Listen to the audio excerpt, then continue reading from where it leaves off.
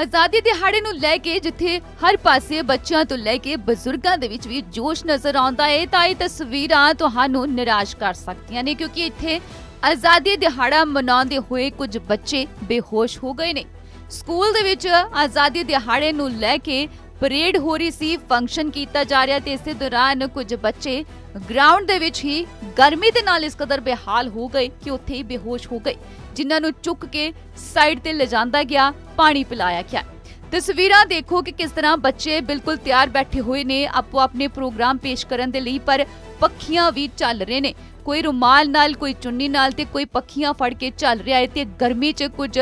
ਰਾਹਤ ਲੈਣ ਦੀ ਕੋਸ਼ਿਸ਼ ਕਰ ਰਿਹਾ ਹੈ। ਵੱਡੀ ਗੱਲ ਇਹ ਹੈ ਕਿ ਇੱਥੇ ਸਕੂਲ ਦੇ ਵੱਲੋਂ ਕੋਈ ਵੀ ਪੁਖਤਾ ਪ੍ਰਬੰਧ ਨਹੀਂ ਕੀਤੇ ਗਏ ਨਾ ਬੱਚਿਆਂ ਦੇ ਲਈ, ਜਿਸ ਕਰਕੇ ਉਹ ਗਰਮੀ ਦੇ ਵਿੱਚ ਇਸ ਕਦਰ ਬੇਹਾਲ ਹੋ ਗਏ ਕਿ ਬੇਹੋਸ਼ ਹੋ ਕੇ ਗਰਾਊਂਡ ਦੇ ਵਿੱਚ ਹੀ ਡਿੱਗ ਗਏ। ਤਸਵੀਰਾਂ ਬਾਬਾ ਬਕਾਲਾ ਦੀਆਂ ਨੇ, ਜਿੱਥੇ ਸਕੂਲੀ ਬੱਚੇ ਇਸ ਪਰੇਡ ਦੇ ਵਿੱਚ ਸ਼ਾਮਲ ਹੋ ਰਹੇ ਸਨ, ਆਪਣਾ ਪ੍ਰੋਗਰਾਮ ਪੇਸ਼ ਕਰ ਰਹੇ ਸਨ, ਤਾਂ ਗਰਮੀ ਇਸ ਕਦਰ ਵਧੀ ਹੋਈ ਸੀ ਕਿ ਬੱਚੇ ਬੇਹੋਸ਼ ਹੋ ਗਏ।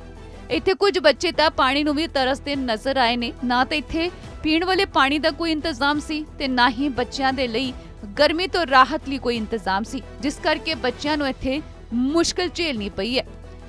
ਆਜ਼ਾਦੀ ਦਿਹਾੜੇ ਤੇ ਜਿੱਥੇ ਬੱਚਿਆਂ ਦੇ ਵਿੱਚ ਜੋਸ਼ ਹੋਣਾ ਚਾਹੀਦਾ ਸੀ, ਤਾਂ ਚਿਹਰੇ ਦੇਖੋ ਇਹਨਾਂ ਬੱਚਿਆਂ ਦੇ ਕਿਸ ਤਰ੍ਹਾਂ ਮੁਰਝਾਏ ਹੋਏ ਨੇ, ਸਿਰਫ ਗਰਮੀ ਦੇ ਕਾਰਨ, ਜਿਸ ਦਾ ਇਸ ਗਰਾਊਂਡ ਦੇ ਵਿੱਚ ਸਕੂਲ ਦੇ ਵਿੱਚ ਕੋਈ ਵੀ ਪ੍ਰਬੰਧ ਨਹੀਂ ਕੀਤਾ ਗਿਆ ਹੈ।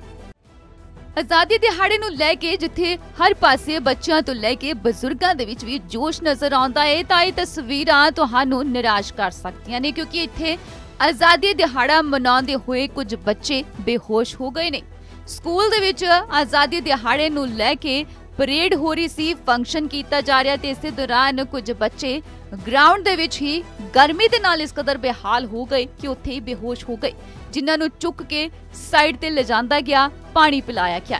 ਤਸਵੀਰਾਂ ਦੇਖੋ ਕਿ ਕਿਸ ਤਰ੍ਹਾਂ ਬੱਚੇ ਬਿਲਕੁਲ ਤਿਆਰ ਬੈਠੇ ਹੋਏ ਨੇ, ਆਪੋ ਆਪਣੇ ਪ੍ਰੋਗਰਾਮ ਪੇਸ਼ ਕਰਨ ਦੇ ਲਈ, ਪਰ ਪੱਖੀਆਂ ਵੀ ਚੱਲ ਰਹੇ ਨੇ। ਕੋਈ ਰੁਮਾਲ ਨਾਲ, ਕੋਈ ਚੁੰਨੀ ਨਾਲ ਤੇ ਕੋਈ ਪੱਖੀਆਂ ਫੜ ਕੇ ਚੱਲ ਰਿਹਾ ਹੈ ਤੇ ਗਰਮੀ 'ਚ ਕੁਝ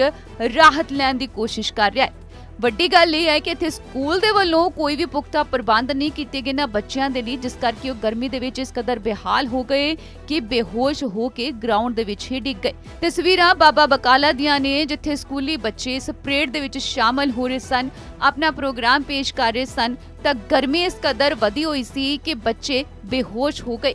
ਇੱਥੇ ਕੁਝ ਬੱਚੇ ਤਾਂ ਪਾਣੀ ਨੂੰ ਵੀ ਤਰਸਦੇ ਨਜ਼ਰ ਆਏ ਨੇ, ਨਾ ਤਾਂ ਇੱਥੇ ਪੀਣ ਵਾਲੇ ਪਾਣੀ ਦਾ ਕੋਈ ਇੰਤਜ਼ਾਮ ਸੀ ਤੇ ਨਾ ਹੀ ਬੱਚਿਆਂ ਦੇ ਲਈ ਗਰਮੀ ਤੋਂ ਰਾਹਤ ਲਈ ਕੋਈ ਇੰਤਜ਼ਾਮ ਸੀ, ਜਿਸ ਕਰਕੇ ਬੱਚਿਆਂ ਨੂੰ ਇੱਥੇ ਮੁਸ਼ਕਲ ਝੇਲਣੀ ਪਈ ਹੈ। ਆਜ਼ਾਦੀ ਦਿਹਾੜੇ ਤੇ ਜਿੱਥੇ ਬੱਚਿਆਂ ਦੇ ਵਿੱਚ ਜੋਸ਼ ਹੋਣਾ ਚਾਹੀਦਾ ਸੀ, ਤਾਂ ਚਿਹਰੇ ਦੇਖੋ ਇਹਨਾਂ ਬੱਚਿਆਂ ਦੇ ਕਿਸ ਤਰ੍ਹਾਂ ਮੁਰਝਾਏ ਹੋਏ ਨੇ, ਸਿਰਫ ਗਰਮੀ ਦੇ ਕਾਰਨ, ਜਿਸ ਦਾ ਇਸ ਗਰਾਊਂਡ ਦੇ ਵਿੱਚ, ਸਕੂਲ ਦੇ ਵਿੱਚ ਕੋਈ ਵੀ ਪ੍ਰਬੰਧ ਨਹੀਂ ਕੀਤਾ ਗਿਆ ਹੈ।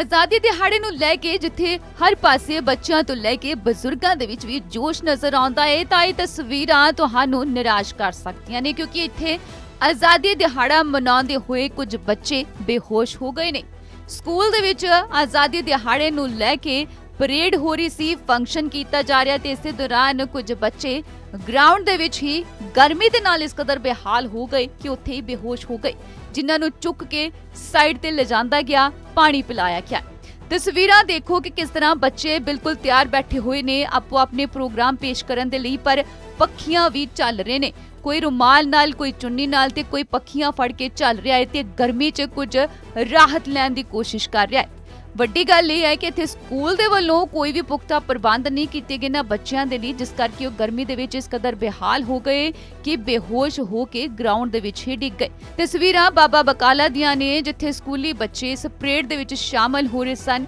ਆਪਣਾ ਪ੍ਰੋਗਰਾਮ ਪੇਸ਼ ਕਰ ਰਹੇ ਸਨ, ਤਾਂ ਗਰਮੀ ਇਸ ਕਦਰ ਵਧੀ ਹੋਈ ਸੀ ਕਿ ਬੱਚੇ ਬੇਹੋਸ਼ ਹੋ ਗਏ। ਇੱਥੇ ਕੁਝ ਬੱਚੇ ਤਾਂ ਪਾਣੀ ਨੂੰ ਵੀ ਤਰਸਦੇ ਨਜ਼ਰ ਆਏ ਨੇ, ਨਾ ਤਾਂ ਇੱਥੇ ਪੀਣ ਵਾਲੇ ਪਾਣੀ ਦਾ ਕੋਈ ਇੰਤਜ਼ਾਮ ਸੀ ਤੇ ਨਾ ਹੀ ਬੱਚਿਆਂ ਦੇ ਲਈ ਗਰਮੀ ਤੋਂ ਰਾਹਤ ਲਈ ਕੋਈ ਇੰਤਜ਼ਾਮ ਸੀ, ਜਿਸ ਕਰਕੇ ਬੱਚਿਆਂ ਨੂੰ ਇੱਥੇ ਮੁਸ਼ਕਲ ਝੇਲਣੀ ਪਈ ਹੈ। ਆਜ਼ਾਦੀ ਦਿਹਾੜੇ ਤੇ ਜਿੱਥੇ ਬੱਚਿਆਂ ਦੇ ਵਿੱਚ ਜੋਸ਼ ਹੋਣਾ ਚਾਹੀਦਾ ਸੀ, ਤਾਂ ਚਿਹਰੇ ਦੇਖੋ ਇਹਨਾਂ ਬੱਚਿਆਂ ਦੇ ਕਿਸ ਤਰ੍ਹਾਂ ਮੁਰਝਾਏ ਹੋਏ ਨੇ, ਸਿਰਫ ਗਰਮੀ ਦੇ ਕਾਰਨ, ਜਿਸ ਦਾ ਇਸ ਗਰਾਊਂਡ ਦੇ ਵਿੱਚ, ਸਕੂਲ ਦੇ ਵਿੱਚ ਕੋਈ ਵੀ ਪ੍ਰਬੰਧ ਨਹੀਂ ਕੀਤਾ ਗਿਆ ਹੈ।